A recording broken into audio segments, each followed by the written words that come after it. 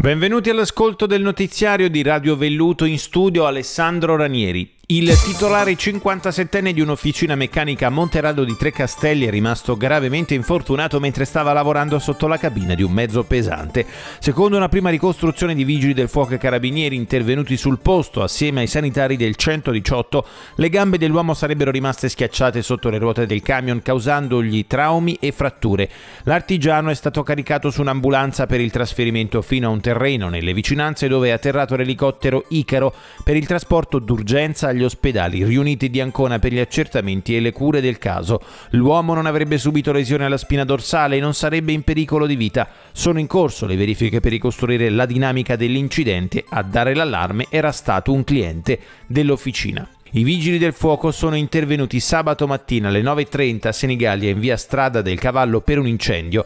Per cause in fase di accertamento ad andare a fuoco è stato il garage interrato adiacente ad una villa. All'interno c'erano due auto e numerose macchine agricole. I vigili del fuoco hanno spento le fiamme confinandole al solo garage. Hanno poi estratto le carcasse dei mezzi per il completo spegnimento delle fiamme e messo in sicurezza il garage. A parte gli ingenti danni, nessuno è rimasto ferito. Rimettete al centro dell'agenda politica il terremoto del centro Italia che ha prodotto il 62% dei danni delle Marche. Si tratta di un altro gravissimo errore del governo dopo quello sul bando periferie. È l'appello rivolto al governo e ai parlamentari lanciato da Augusto Curti, presidente del Consiglio delle Autonomie Locali e sindaco di Force, e Maurizio Mangialardi, presidente di Anci Marche. I vigili del fuoco sono intervenuti ieri mattina ad Arcevia, in via Mura, per recuperare una borsa caduta in un dirupo. Il proprietario aveva provato senza successo a recuperare la borsa contenente documenti ed effetti personali perché la zona dove era caduta era inaccessibile. La squadra dei vigili del fuoco è intervenuta sul posto utilizzando tecniche speleo-alpinistiche e si è calata per circa 8 metri per recuperare la borsa e restituirla al proprietario. La nuova risonanza magnetica pronta a fine ottobre, l'esposto del comitato non ci compete. È deciso a difendere l'operato della Regione Marche sulla vicenda che ha interessato la nuova risonanza magnetica il presidente della Commissione regionale Sanità Fabrizio Volpini. La nuova risonanza, acquistata quattro anni fa dopo una lunga odissea, sta per essere inaugurata.